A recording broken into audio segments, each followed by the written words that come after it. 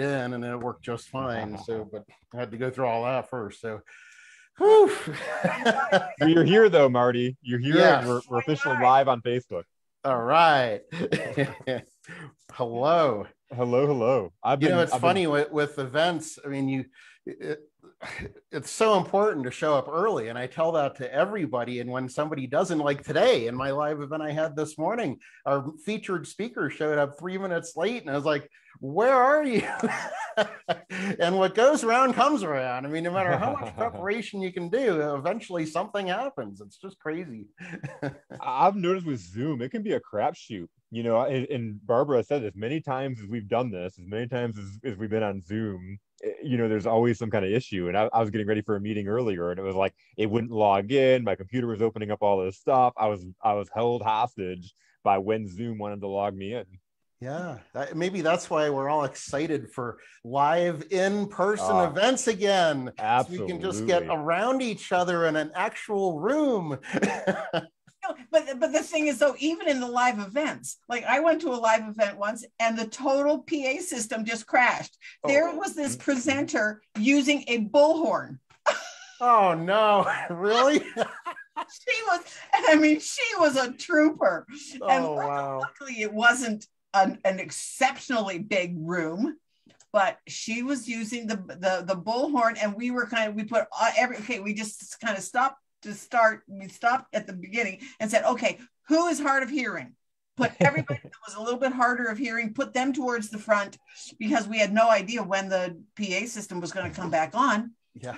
And all of us that were taller and had good hearing, we stood at the back, and so just kind of like, and we all just kind of liked each other a lot. Right Oh, that's that's amazing wow I, I guess we all have our our the fish that got away stories and we apply those to the speaking world or business or whatever i mean there's all kinds of craziness that happens and when you choose this occupation yeah that's what I've be for I've, I've I'm a person I've run late to everything my whole life. It's been one of my uh it's been one of those things I've had to work on quite a bit. I was just naturally running late and, and all that anxiety it produces. But Mhm. speaking gigs are like I'll I'll be there an hour early because Oh, I know know. what Yeah. can go wrong will go wrong, especially when it comes to tech and hooking everything up and being just being prepared. right absolutely That's like I was just telling Jason, I bought a new computer. And I mean, this is, it's actually funny, but I bought a new computer, a MacBook Air, and I'm loving it, yeah except on Zoom, when I use my virtual background, there's this big spotlight right in the middle of the virtual background. uh-oh And I have I have to absolutely stay right in the middle of it. And if I happen to move even a little bit, so that's it's like so I'm on my regular computer, but on my new one, I can't use Zoom because and you should- the first day Jason was like, Barb, what are you doing? wow it looks that's really funny because your head is just centered in the circle. It's just- and then it- the rest it of it's looks like background. I'm a floating head in a yeah. so I've been on the phone, I've been on the chat with Zoom for hours. and they and they and I finally just said they said, well, you know, take a couple of screenshots. So I did that. By the time I got back to the to the the chat, they said, oh here, oh thank you for using our live chat service. I'm now closing this chat. Thank you for calling support. right right right yeah it, well and from what i've heard the new mac operating system one of the reasons that they even came out with it is to have higher power for virtual live Virtual. presentations so So something between Mac and Zoom has not meshed meshed. wow that's surprising because i know they've done a lot of work with Ecamm because Ecamm is notorious for if you're using a well you have to use a mac i guess for Ecamm but your computer will get hot.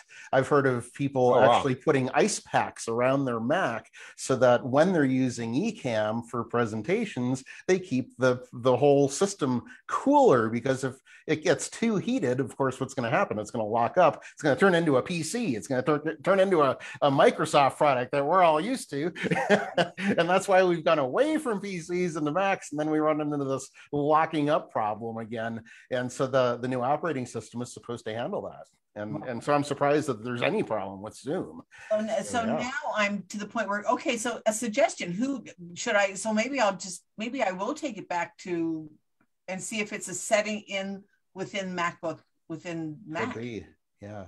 Because I have tried everywhere. She said, "Well, try a different virtual background." I've tried every one. Wow. Huh. And I still have, and the, in fact, Jason, one of, on one of the shows. I mean, because this is what our show is about: life. Yeah. Because business, life in business and business in life, it happens. Sure. So that that first day that I got it, he says like, "What's with the spotlight?" And I went, so I tried every one, and remember the green one with the it looked like I had green leaves popping out of my head. well, it's not as bad as my story with new computers. My goodness, I, I'm about the least technical person you'd ever meet. I mean, anything I've learned about a computer, I've had to be instructed like in person. Not not even YouTube does it for me a lot of times. I have to be shown how to do something. So I wouldn't make a very good programmer and I wouldn't make a very good graphic designer because you have to use all these programs and everything. But when I first started to use speaking to promote my business, the the second we sold out four shows, four workshops. I did these these workshops were only 40 to 50 people in the room and we sold out four of them within 48 hours. So we were booked. So number 1 went perfect. Number 2 went perfect and then we had a week and I thought, "You know what? It's time. I'm going to upgrade my computer." So I bought the new computer. It came in late, you know, had all these additions to it and everything. The day of the workshop, I decided to turn it on for the first time. Oh, and no. for some reason, something happened between when I turned it off at home and went to the location of the workshop. I did something really, really wrong because when I got to the workshop and st- you know, set up my screen and everything, and everybody's coming in talking to me and all that, I couldn't get my computer to turn on to save my life. And, and this was a this was a four hour internet marketing training workshop. So the whole thing is taking people into Google and into HTML code on the back end and teaching SEO stuff. I mean, you have to do that showing screens. I couldn't even turn on the computer. I was just mortified. Oh, no. And I was just getting into speaking. I had a joint venture host and I just thought I'm letting everybody down. You know, the, the amazing thing is that somebody came up to me afterwards and said, I am so refreshed from this talk because you didn't use PowerPoint even once. Yeah. Oh my God. So crazy. Yeah, I couldn't. yeah. Yeah. That, so it's, all, so it's sometimes a blessing when things like that happen. it really is. Shows you how how much how well you know your material. Oh, I don't even remember what I said that night. Though I mean, exactly. It just, was, it just flows out of you.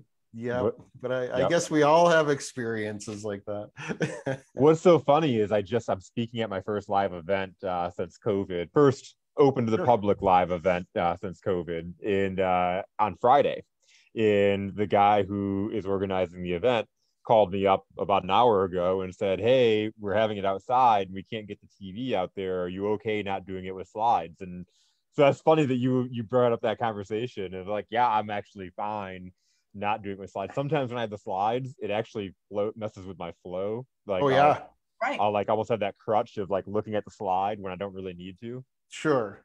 Yeah.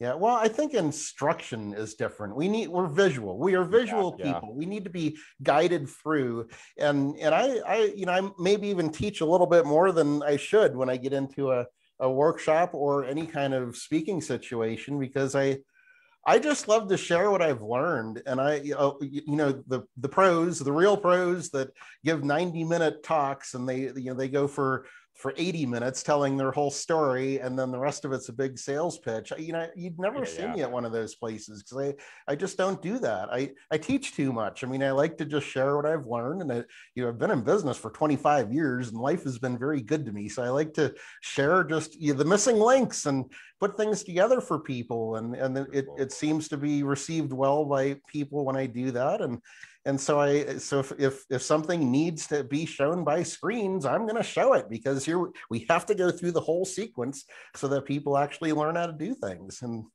you know most people are visual so i prefer that method when when there's actual instruction Yeah. Yeah. Yeah.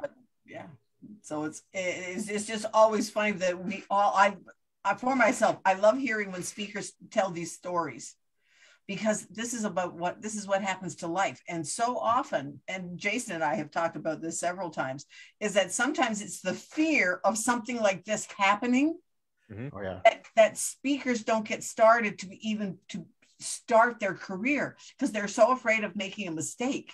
They're Yeah. so afraid of but what happens if? Well. Yeah. Oh oh fear is is debilitating fear is is something that people run away from their whole lives and and maybe even something deeply embedded in their childhood takes forever. They're they're just trying their whole life not to experience that same feeling in the gut that they had when they were 10 or whatever it is. And and we all we all have something that happened early in life that we try to avoid or have tried to to to go through and i you know I, I was the same way. I mean i was that kid that that would give the very first book report in let's see what was it sixth grade. And mm-hmm. i was the one at the front of the room that was shaking. All he had to all i had to do is read read my book report at the front of the room. And i was literally shaking so hard i couldn't read my own handwriting. I mean i don't have very good handwriting to begin, to begin with but but that even made it worse. And I, I just i just held my paper there. And even though i couldn't read a thing i just para- paraphrased what i thought i wrote in my book report. And that got me through. But i was like gosh, I never want to do that again. Why, would anyone want to get in front of a group and speak to people? And and that carried me all the way through high school and college. When you know, I was a, a marketing major in college, which is doing research and presenting and all that. I, I told the guys, I said, I hate public speaking, but I'll be the writer. So when we have to write all the reports, if you guys do the bulk of the presentations, then I will do the the written part and that worked out pretty well. What a terrible way to go through college. It wasn't until after that that I, you know i got my first real job and i was forced into a situation to go speak to 600 people all of a sudden on behalf of my boss. So he said oh, I, I can't go to this. I want you to go to this and go speak on my behalf huh? What? Me? No no i don't do that. Well uh, that day i joined toastmasters and i had four months to plan this darn thing and practice it and i went down there and i killed it. It was awesome. Did- i did a great awesome. job and i thought well maybe there is a future in this. And so that was kind of my beginning of getting out and under from that. And i you know i realized years later i was i was taught that fear is actually a good thing fear is something that is given to you on purpose. It's a tool. And, and don't run away from fear unless you're being chased by a bear. Now you know there are circumstances when fear is good in a different way. It, it helps to save your life right? But the mental aspect of fear is something you can use too. And you know when i i, I actually left Toastmasters and I rejoined several years later. And one of my speaking mentors, when I really wanted to get serious about speaking, I, I, I joined two clubs. And one of my mentors said to me that fear is a good thing. And I said, What, what are you talking about? How could fear be good? And he said, Marty, I've been speaking for 45 years and I am still nervous every time I get in front of people. Really? You never look nervous to me. I can't believe you even said that. But he said, Marty, fear is a good thing. The moment I am not nervous any longer in, of getting in front of a group and speaking is the day that I sit down forever and never speak in front of a group again, because I will never give my audience my best. Mm. And as soon as I heard that, I was transformed forever because I always want to do my best. I want to come on a program like this and Mm-hmm. hear even a year later that somebody's life was changed from one Yeah. sentence that came out of one of the three of us. I don't care who, as long as there was something that person spent time listening to us and then they implemented something and that was really changing. It, it impacted them somehow in a positive way. That's what speakers live for that transformation of their audience and that's what makes us nervous because we we're worried that we're not going to be able to do that. Yeah. and and then when if, if we're able to channel that and make it happen that's where that's where it, it makes everything all worthwhile all the effort that we go through and to you know, and for me, it's sometimes it's like Barbara, yeah, this, is good. This is good. That's that that feeling in the pit of your stomach where you're kind of like, oh, okay, yeah, no, come on, Barbara, yeah, you can do it. Feel the fear, do it anyways. Yeah, Barbara, you're fine. You know, but it, it you're exactly right. You're exactly right. That you just that it's that, and but it's a good thing because as you and, and I'll, it'll take me many minutes to get into what I'm talking about, even if I happen to have notes in front of me, to Sure. get over to get over that. And then, oh yeah, okay, fine, yeah, now let's just go. And then people come up to me afterwards and say, "What do you mean you were nervous? Yeah, yeah. right You should you- exactly You, didn't look nervous. You didn't. Nobody can see that. Yeah. Nobody. Can, oh, you're the only one that can feel that. Yep. Well, and you were there, Barbara, this morning. Sinette presented to us in our weekly Wednesday professional speakers practice group called Speakers Speak Live. Hmm. And she Great was group. giving, Great group. I'm loving it. I, I am so glad you're a part of that. And, and just seeing people transforming from week to week to week and improving their skills is just so fun to watch, including myself. I mean, I'm just one of the group. It's not like I'm, you know, the master of speaking. I we're all in there together to practice and improve. Speaking is something that can be practiced your entire life, and there's always room for improvement. It's a lot like golf. but you know, Sinette came in and she even said to everybody, I'm so nervous. And I said, You're going to do great. And ex- that's exactly what happened. I mean, people were just glued to her message, Yeah. and none of us thought she was nervous. You know, that's that's what it's like to be in a in a, a group that is supportive like that. When you're you're all building together, we want everybody to succeed. Yeah. Yeah. And then one other thing, Marty, that you and I we talked about in relation to Jason was that you have some of your speakers that and Jason is does sales. Mhm. And so that was one of the things though I thought we we could have a little bit of a conversation about. Absolutely. Just because so many speakers, it's like, okay, yeah, they get over their fear of doing the actual presentation, but they have trouble making an offer. Right. Mm. Yep. So- Well, uh, yeah.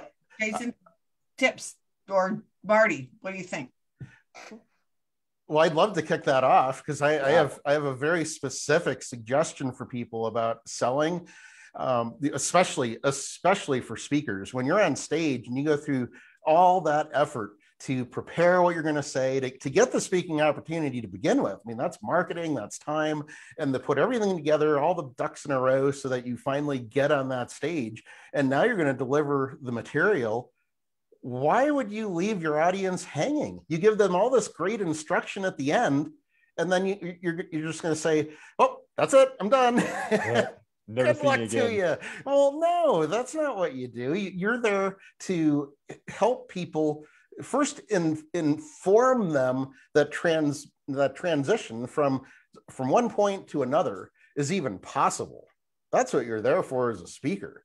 And then give some ideas so that they can get started on their own. You don't want to just be all story and no meat. And that's what event meeting planners are looking for right now, too, are people that are going to give actual steps that people can start working on even during the presentation, let alone after. So you need to be in tune with what your audience is looking for. But I mean, unless you're given a half day or a full day, it's just not realistic to say, well, here's the 35 steps you need to do, go do it. I mean, it, it takes more in depth analysis of where each person is. Everybody's different. Everybody's in a different place. And it could take one on one, it could take small group work. It could mean some homework on your own and then come back and work with that speaker some more. So there's always a next step to go deeper. And you, as the speaker, know that that's true. So it's up to you to put an offer together that is manageable by people, it's attractive, it's possible for them to actually get through so that it's not so demanding of their week that they can't do anything else. it's got to fit into their schedule. But once you have that all together, I believe it's your obligation as a presenter to not let down your audience. You, are it's it's your task to give them the opportunity to say, "Hey, there is another step to this. If you want to go to the next, you know, to go deeper with me, or a, a more extended process to really make this happen, and let them make the decision." So that I just think that's you know, that, and maybe that's new. Maybe that's new. I, I think that there has been some transition in how people are allowed to sell from the stage. So a lot of times, you know, you're brought in for somebody pays you twenty thousand dollars to come in for a keynote. You're probably not going to do something like that, especially if it's a company audience. So you really have to know your audience and who hired you before you start going out there and making offers. I absolutely agree. So this is not all across the board, but it is something you can work out with companies before mm-hmm. you even get on stage and say, Hey, we've already, you know, there, there's no selling here, but I want you to know there's this program that together as a group, we're going to start in two weeks and we want you to be part of it. It's already paid for. I'll be here. We're going to be here for two weeks, whatever it is, whatever that program is. All of that can be established before you even take the stage. But the, the central focus is to know that most of your audience is not going to take action with what you say right then and there or when they walk out there has to be another step for them to take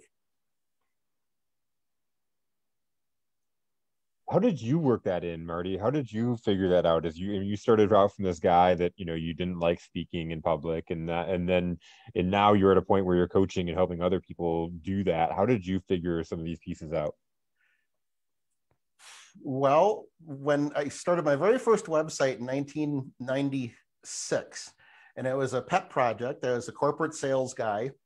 And the, the three things that I knew I never wanted to do was be in sales. I didn't want to travel the country. That's what my dad did when I was a kid. He left Monday, came back Friday, and I just didn't want that kind of life for me or my family. And yeah. I, I knew I didn't want to be in accounting because accounting was the most difficult. I mean, you either get it or you don't when it comes to accounting, right? When I was in college, that was one of the just basic 101 accounting just about drained me. I mean, it just took all my time. So I knew I didn't want to be an accountant. And I knew I also didn't want to have anything to do with computers. So, I mean, you know, here I am today, a, web guy for sure. But back then, I was the guy that held everybody up when, when you know the teacher would say, "Okay, go through step A, step B, step C." Now everybody print, and everybody's would print, but mine wouldn't. I'd go through the same exact process as everybody, but Marty's wouldn't print. So I'd hold up the whole class. Oh, I guess this just isn't for me. I don't want to be involved with computers. Well, by 1995 I found myself traveling the country selling accounting software. How? Oh my God, that's so crazy. Talk about living in hell. So I, so I, I just, I, I knew I had to start my own business. So I, I started a website and you see my see my my, my guitar over here. I'm a guitar yeah. player and i call myself a closet guitar player. You'd never hear me play out. But you know i've got a pa system and everything. I like to make a lot of noise but uh, traveling all over the place i had a hard time connecting with people. So I, I started a little ad and i took it out in the local newspaper and started a little business of people that are looking to play with other musicians. And it turned into the uh, you know i had one of my participants come to me and say well, this is really great. I love this list of bass players that you sent to me. I love this list of drummers. We can form a band right now. And he said, You should put this on the internet. And I, I said, What the heck is the internet? I had no idea. I mean, it was 1996. So I had to partner with somebody and bring bring somebody in. Well, this website did so well that after six months, when they offered a promotion to me at work, I turned them down and I quit and I went full time to promote that website. And I knew, I knew to do that, I had to be capable of getting up on stages at jam nights where bands were playing and promote this thing. And uh, today, even today, musicmates.com is still out there, and it's one of the largest musician referrals in the country. And I, I mean, it's all automated and it's all free. I don't, you know, I just use it as a reference. It's, you know, it's, you know, it's just one of those things that I did. I like to show it as a historical monument, sort of. but it did teach me a lot about business and about getting involved in, in, in, how to sell. I mean, you ever want to test yourself, try selling something to a starving musician. I mean, they, mm. they say you should use 10x, right? The 10x rule, whatever you sell should be 10 times the amount of value, whatever you're selling it for. Well, yeah. the musician, it's more like about 25 or 40 or maybe even more than that. I mean, every dollar they spend has, has got to be worth a lot. And I really had to, to work on my sales skills just to sell to those guys. But the uh, in answer to your question, kind of coming along from that that long-winded story, is that I found myself at the very first internet marketing conference that I would attend, and it was I can't remember when it was 1998, 99, something like that, and all the speakers are talking about setting up autoresponders and i didn't even know there was a name for that but we had all this stuff in place. We were doing all this stuff they were talking about on stage and i was just sitting there and a, a guy next to me says do you have any idea what those guys are talking about up there? Yeah, I've been doing that for about four years now. Really? Can you explain it to me? Because I, you know, they're just up there selling and I can't understand anything. Well, sure, here, let me write it out for you. It works like this. So I see this guy in back of me kind of peering over the table. And all of a sudden I've got like eight people around me as I'm describing what they're talking about at this conference that everybody paid a thousand dollars to go to and that's when i thought wow that's there's an opportunity here. So I, I, started just sort of collecting what we were doing. And of course i was taking on clients by this time and people from from music mates would say hey well i've got a business on the side. Is there anything you can help me with that because music mates is obviously taking off and and uh, they wanted to needed help with their with their results and their web marketing. And I said, well, sure. And, and then they started saying, well, we'd like to hire you, but how do we know you'll be around in six months? And that's when I came up with the name Here Next Year for my company. Huh. Don't you love that name? That's awesome. Basic sales, right? Yeah. Eliminate the question. yeah. Yeah.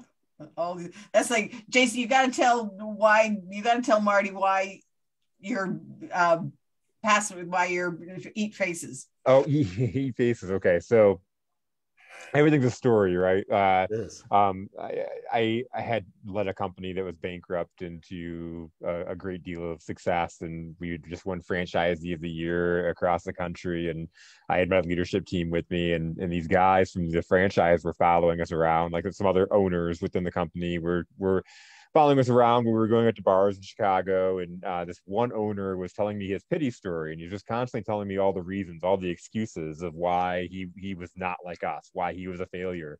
And he was like, it was you know the franchise they didn't support him. They told him when he became an owner that they would help him lead him to success, and you know they weren't around. They haven't helped him lead him to success, and his employees they didn't care about him, and the agent of the, the company that we were we were representing they didn't care. They only cared if you put if you hit numbers and it got to be a point and I finally got fed up with all the excuses. And I'm like, listen, Eric, man, I'm like, I hear all the reasons that you're giving me.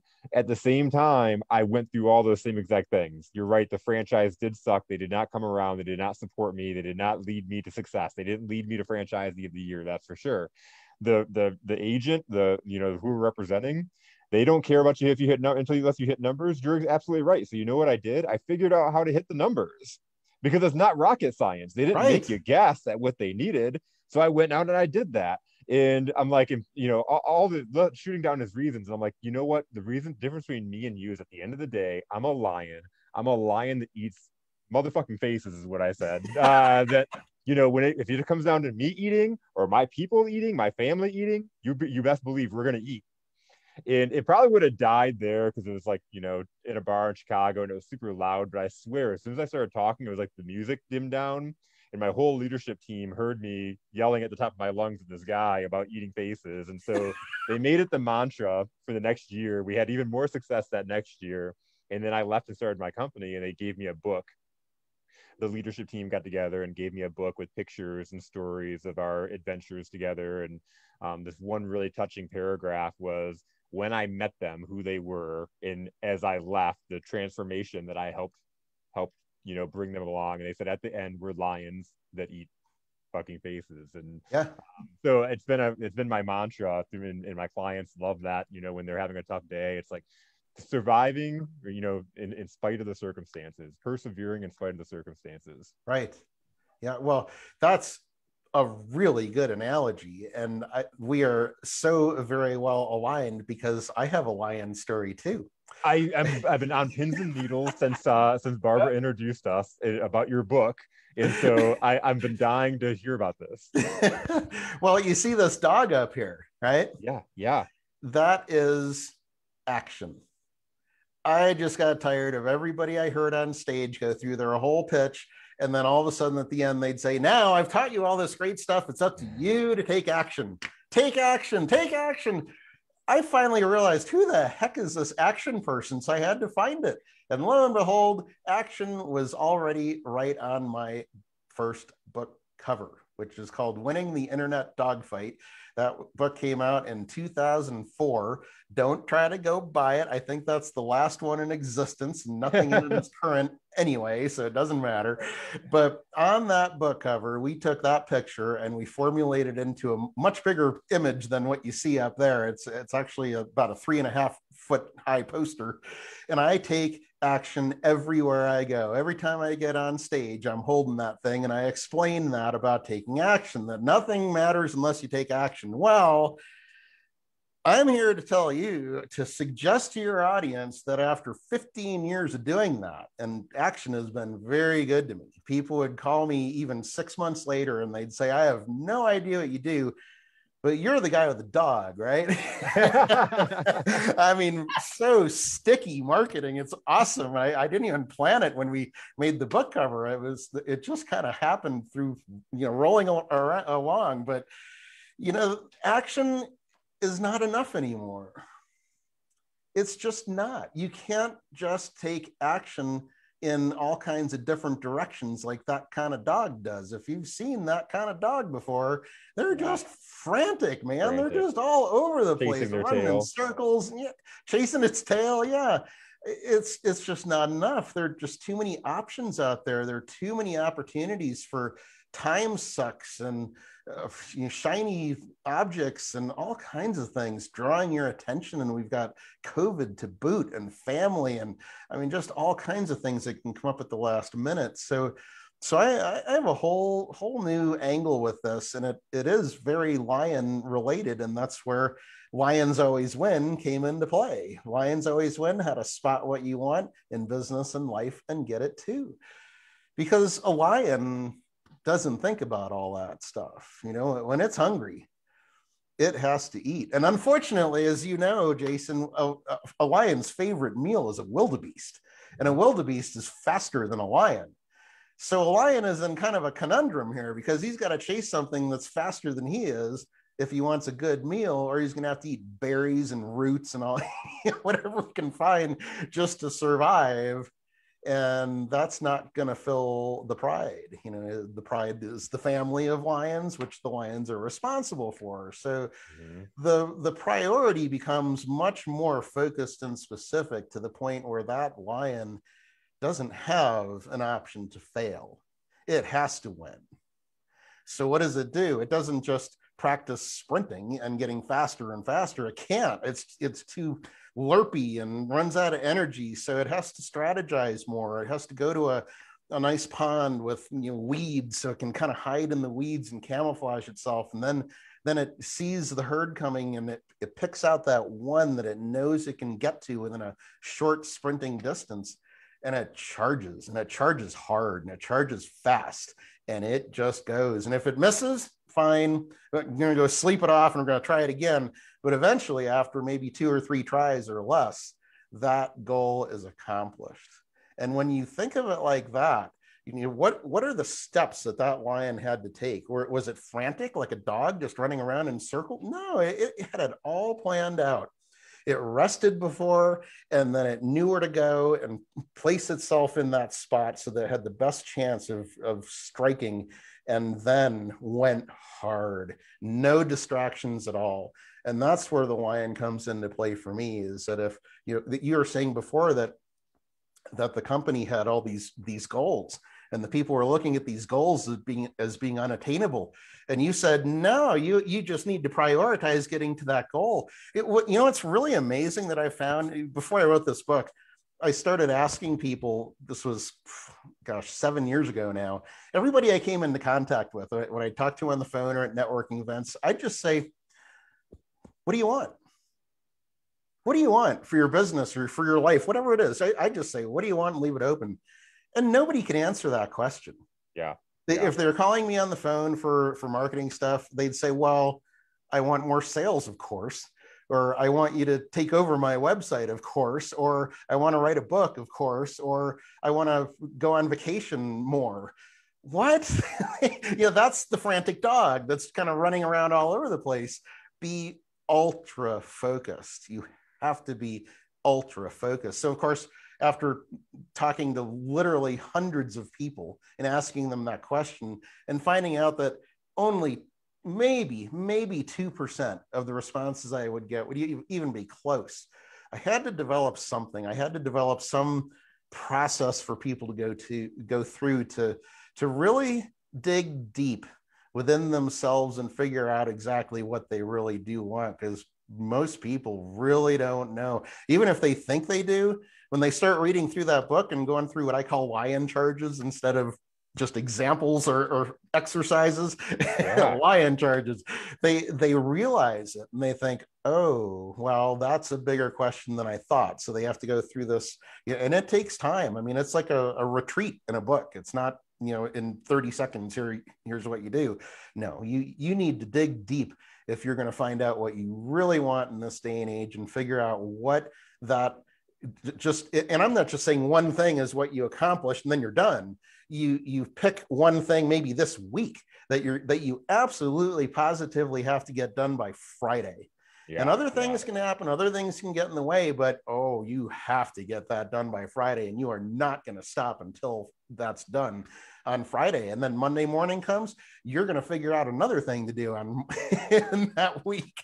So there there needs to be that process in your life and your business so that you're continuously seeing where is that wildebeest? What what what do i need to do to market and to focus on it and pave the road so that i can get it? Mm-hmm. that's incredible. I can't wait to read the book. I'm excited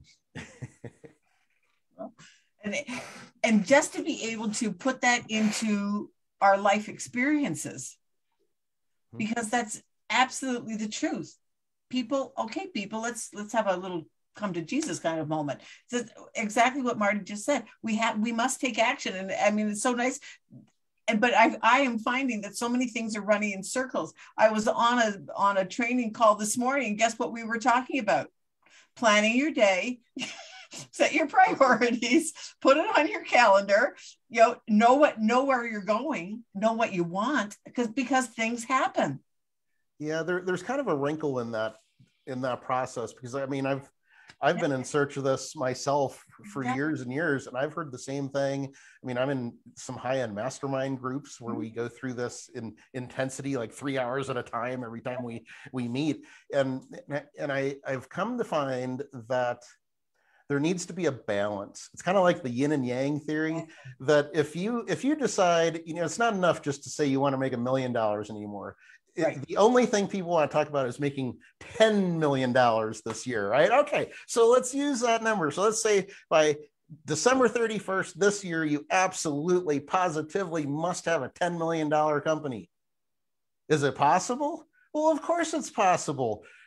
But what are you going to have to give up to get there Mm-hmm. If you're mm-hmm. married and you have six kids and you're coaching little league, you might want to think twice about taking on the fall season because if that really is your absolute priority, mm-hmm. then you're going to have to pave the road. Now, if your family's more important, that's fine you have to recognize that and say, well, maybe mm-hmm. we can cut it back to 5 million. Because, you know, you can't say that million anymore. That's not enough. That's just middle class for people now. So we got to talk in those big numbers. I mean, that's what's sexy right now. And, and, and what people forget about is the balance component that when you make some type of number your priority like that, well, certain things have to fall into place, not only with your family life, but also with what you are capable of doing yourself versus with what you need other people to do with you or for you versus what you're going to have to invest in maybe going to a class or two or investing in that $5000 course with coaching involved or more. And and that's you know, that's where people say oh, maybe that $10 million goal isn't isn't really my priority after all. Well, good thing you realize that halfway through the book, because a, a lot of people get really depressed and down on themselves, and they beat themselves up and they, gosh, I'm working 21 hours a day. Why am I not getting more sales through my website? Why am I not getting more traffic to my website anymore like I used to? I mean, just all these things that people take personally and and and i'm i'm here to suggest that it's you know it's not just you. Don't be so hard on yourself. The times are changing and it's really difficult to have so many things going and to expect yourself to perform at this superhero level uh, 20 hours a day every single day seven days a week. Uh, you know we need to to to learn the process of of what real wants are and how to attain them for smaller things and work our way up. That's that's my solution that seems to be working so far for a lot of people. Right. That's what we were talking about this morning because you know like so many of us we have families to deal with. Like my my grandchildren live with me. I want to be able to see them.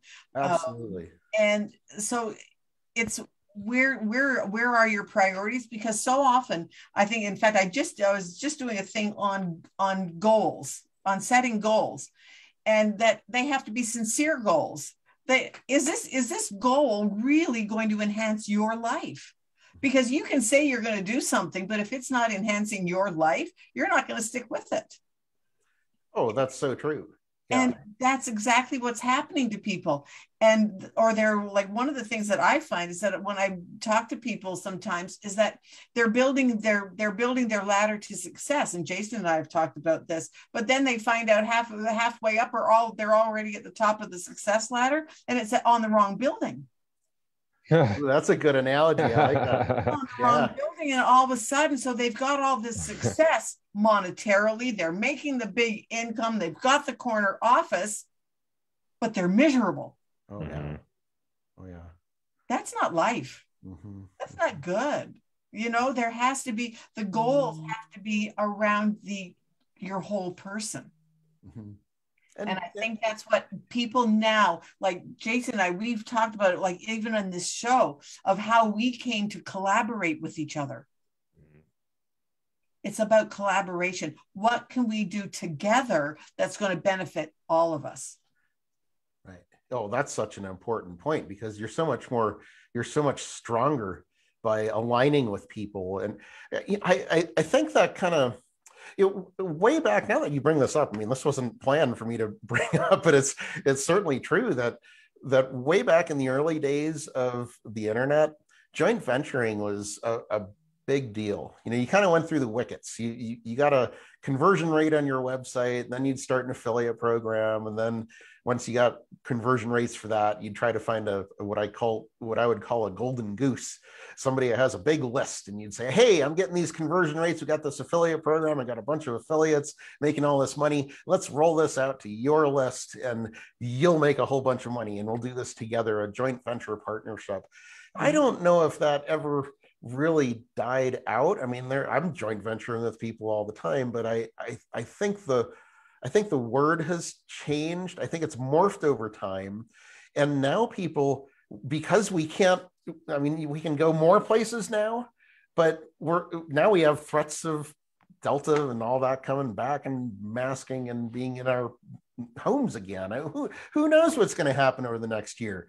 But I, I think over just the past year, there has been a rejuvenation in aligning with people and they've turned into mm-hmm. joint ventures. So all mm-hmm. these all these mastermind groups, the Speakers Speak Live that you're part of, Barbara, all of these places that we're brought into to, to meet new people virtually, there should always be in the in your thoughts hmm, is that a person I should call sometime during the week and have a one on one conversation so that we can potentially align with each other? Who mm-hmm. knows what can come out of that? But I, I think that's one of the few benefits that have come out of the whole COVID thing is that it has brought us to the realization again that we need to work together and align with people and continue meeting people and always be be going to toward that instead of building my team who work for me or work with me but what is my team out there that i can go to and we can just talk back and forth and refer people to each other i think that is really building right now I, I, I could not agree more. I I know it's it's stronger in my life now. The collaborations, the people I'm building with, than it's ever been in my whole you know in my whole entire life. And I, LinkedIn was a huge part of that. You know, and that's where Barbara and I met. And uh, but just being able to meet people across the world. Where are you at, Marty? I'm in Denver, Colorado. Yeah. Denver, Colorado. Okay, awesome. I have a client in Colorado Springs. Uh, but it's like one of those things. Like I'm in Michigan, you know, and, and Barbara's in Illinois, and but you know now we're so close technology i know hasn't been uh hasn't been uh your guys thing you're excited about but for it to bring us together like this where we can do more joint ventures i like that word by the way yeah. yeah. And you know what the funny part is jason you know marty lives in denver and i said to him the oh i don't know last must have been last week i said to him i said oh yeah i'm going to be in denver in september and i said well where do you live in denver and he says, "Well, I don't actually live in Denver. I live in a town. I, I live in a, know, but nobody's ever heard of where I live. you know, like with me, when I say I live in, I, I live near in, in Chicago because they've nobody's ever heard Nobody of. Nobody knows. It, yeah, yeah, it's just easier that way. I mean, you know, we are a tourist town, and we are a skiing family. So, so we go skiing every week, and every time we ride up on a chairlift with somebody, the first question out of their mouth is where are you from? Or you know we kind of look local like so do you guys live up here in the mountains? No we live in denver. I mean it's just it's just quicker to say yeah denver area. It's, you know it's just easier you know so that's what marty and i had this conversation that oh yeah i don't i don't really live in denver. I live in aurora. Right. You're kidding. He said no, why? I said, Well, my girlfriend that I'm going to visit in Denver lives in Aurora. That's, That's awesome. so crazy. That's so awesome. Isn't That's that so wild? awesome. So great to meet system. in person when you're here. I'm going to be there. So we're going to be able to meet in person because I'm going to be in Denver and I'll probably be there for like four or five days. That would be great. And I was like, That's awesome. and that's like the, the, the, things that you and I have together. It's just amazing the people that we know that we've met totally separately and right. yet we know each other. Yeah, yeah. Well, that is networking, isn't it? I mean, it's a, I, you know, I've I've found that there are groups of families that hang out with each other. And, and in my in my book, in the, my Lions Always Win book, one of my favorite sentences in there is that you become who you hang around. Yes. And so I I couldn't put my finger on who told me that, but it's the same thing. You are what you eat, right? Yep. And and I I've really taken that to heart to be very careful about people that I spend time with. We all get the same amount of time, no less, no more. We all get 24 hours a day and seven days a week. So yep. we all have to be very cautious of who we spend time with and and that group of people that is if if you want to hang around people that are really just uh, down in the dumps. You, you have everybody has friends and they want to be able to call on you. That's great. You need to be there for that person. At the same time, you need to really budget how much time you spend away from all the positive people in your mastermind groups yeah. that are you know doing more with their business now than they ever have in their lives. And they you know these are the people that are saying this is the best time to be owning your business in the history of our country. And and some people would listen to that and say you have got to be just crazy. You can't sell anything out there. Nobody's buying anything. You can't even get anything delivered anymore. so so if you, so you have to just position yourself so that you're around the right families of people. And that's why, you know, Speakers Speak Live is a great family to be around. National Speakers Association is a great group to be around. Toastmasters is a great group to be around. A mastermind group that you choose where you're you're all you know non-competing but you're all working together and you're you're all moving forward in a in a positive direction that's where people need to be spending their time right now. And when you do that, you, you have a, a whole different outlook on what's happening right now and where the where the country's going, where the world's going, and where your business can potentially go. And that's what you know, that's where things get exciting. So I I like looking for families. and one of the things that I am finding is that by being in different masterminds that have different people from different niches, mm-hmm. from different organizations. And they'll come in and they'll say oh you know, th- you know i'm in this niche and this is working for me. And oh i'm here and this is working for me. And oh and i'm over here working and this is working for me. And you know what? You can get one little pinprick of oh well if i take that from there and this from there that might work for me. Absolutely, absolutely. rather than always staying with your own yeah you know, yeah your own group. Get some diversity in your groups. Right. Especially if you don't like your results. Especially especially if you don't like your life. Right. You need to surround yourself around different people. Yeah. Get yeah. some diversity. I, have discovered something else that that everybody I, I haven't met one person that defies this rule. Everybody is a true expert at something. I mean, if, if you've been alive for 10 years or more, you are an expert at survival. No one has lived exactly like you. No one has the street smarts just like you. You've adapted your own method of living.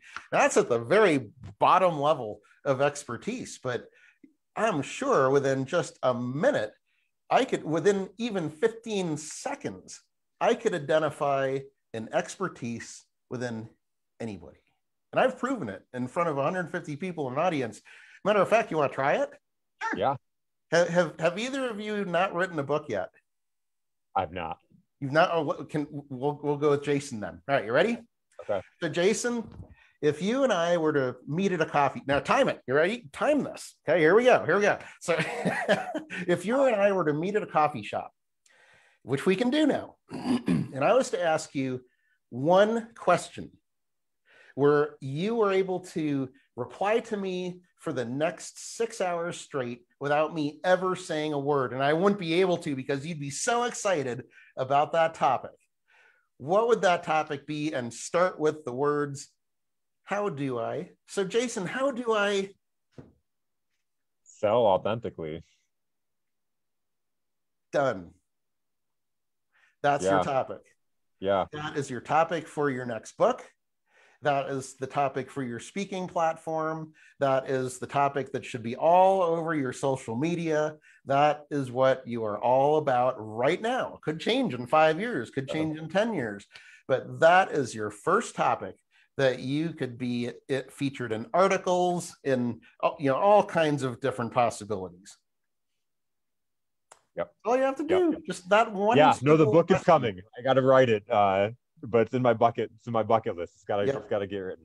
You know, and a friend of mine, she says that she can take like, and this is one of the things that I'm going to tell on myself. One of the things that I'm working towards is that she says that she can take all of our, um, like these, all of our shows, all of our podcasts, all of our whatever we're doing to you know our Facebook lives, whatever it is that we're putting out there, she can take all of that and have a book Sure.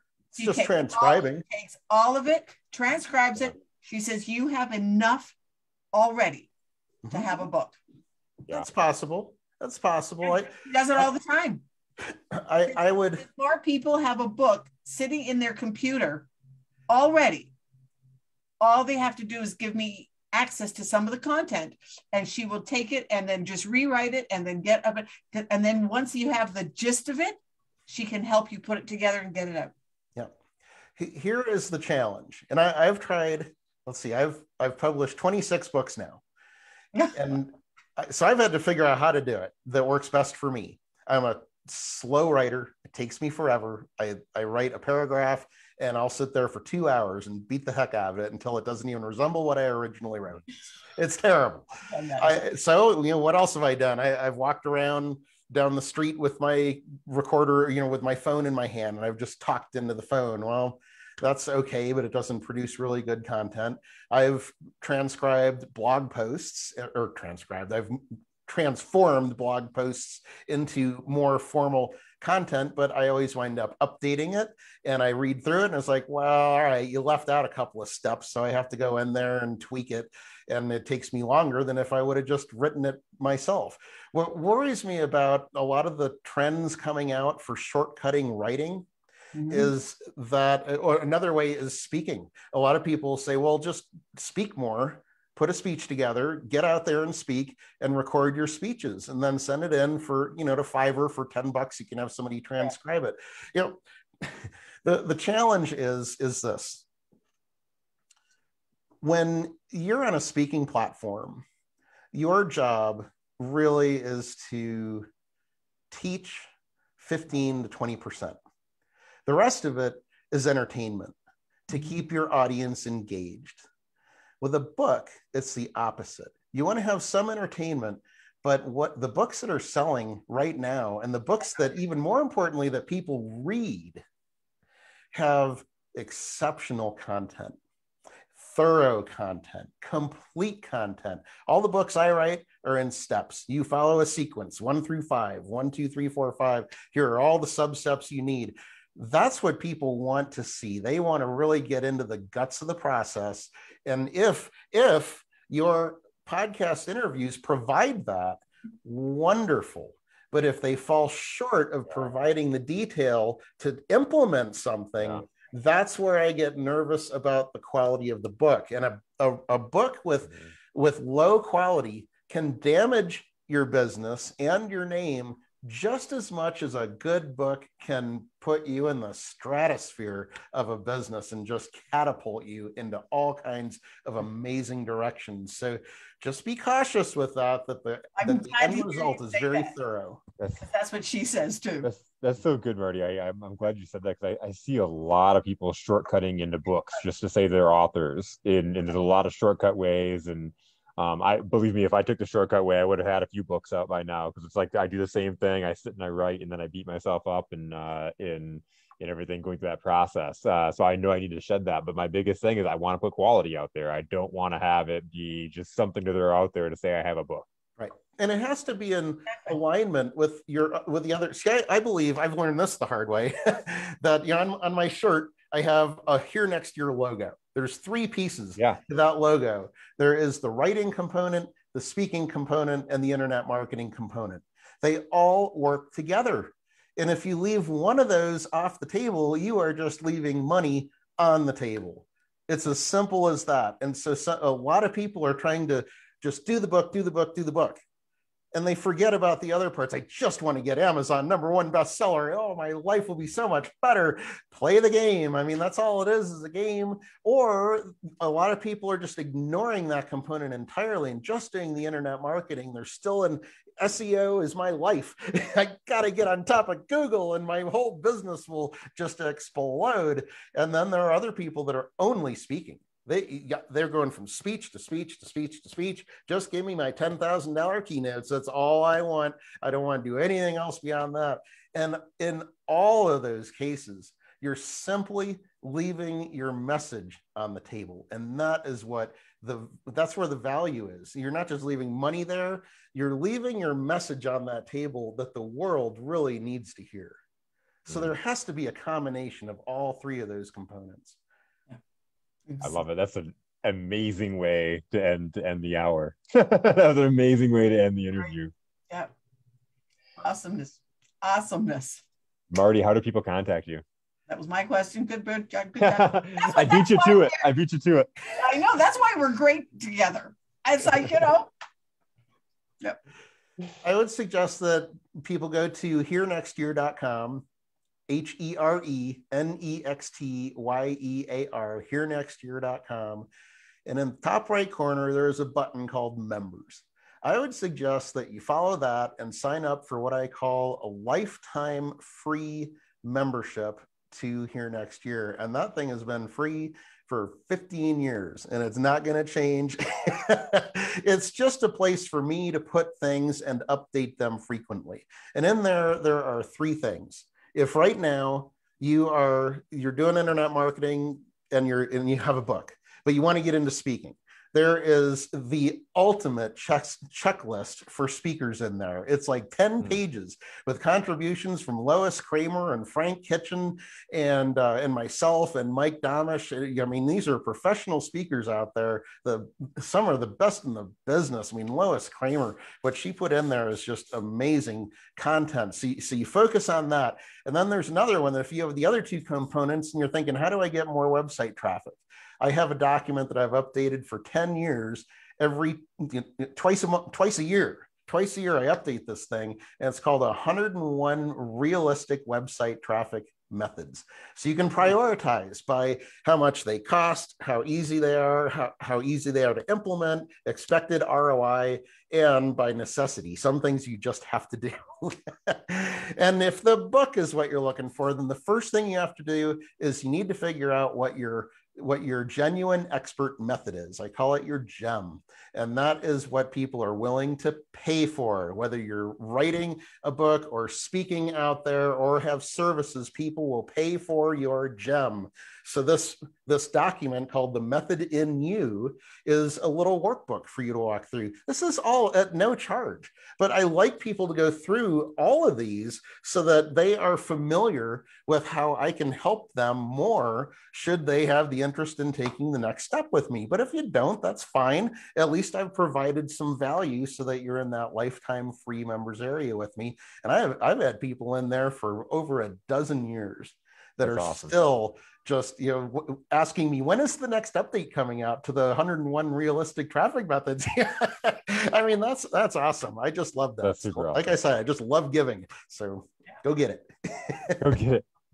And if take you're the speaker, action yep. you're a speaker come and join the speaker live on wednesdays Yep, absolutely. Every Wednesday, you can you can go to speakersspeaklive.com and you will see that just brings you to the Here Next Year website to a page that talks about the details of the meetings that we have and what's involved with it.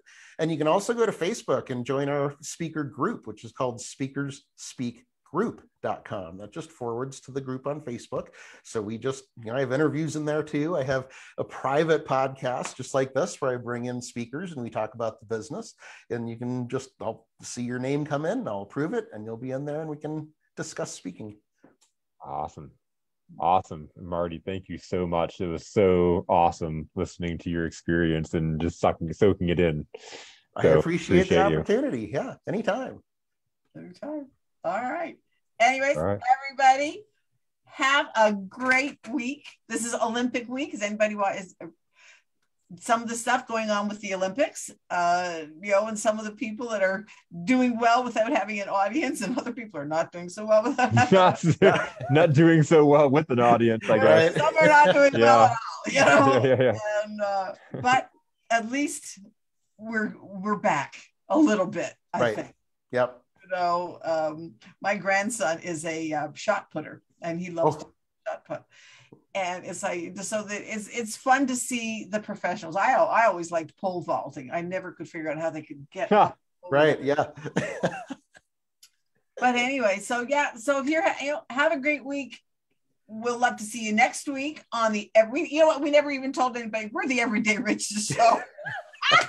if they're here, they know. Yeah, we just kind of started talking. Hey, that yeah, happens. Yeah. That's fine. Everyday Riches show. I'm Barbara Ellison. I'm Jason Tracey. Uh, Marty Dickinson, make sure to take action, right? But do it like a lion. The new way yes. of taking action. Be a lion. Be a lion. and what did you say about eating faces? Eating faces. Go eat some faces. That's great. Something being a little lioness. Go eat some wildebeest faces. You gotta stalk them down and then charge at them exactly. The other night, the other night, I watched The Lion King with two of my grandkids. Oh yeah, and it was like, oh yeah, right. They were, they were hunting wildebeests. Yeah, yeah, yeah, yeah, yeah. Yep. they do. So, yep. anyways, everybody, have a great week. You have a great week. Bye. oh.